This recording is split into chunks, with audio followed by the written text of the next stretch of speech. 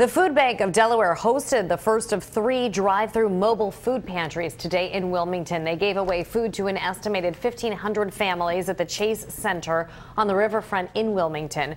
Recipients stayed in their cars so that volunteers could load food.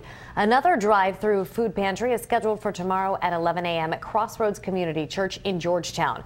The third will be held at 11 a.m. Friday at Legislative Hall in Dover. People are asked to bring identification and proof of Delaware residency.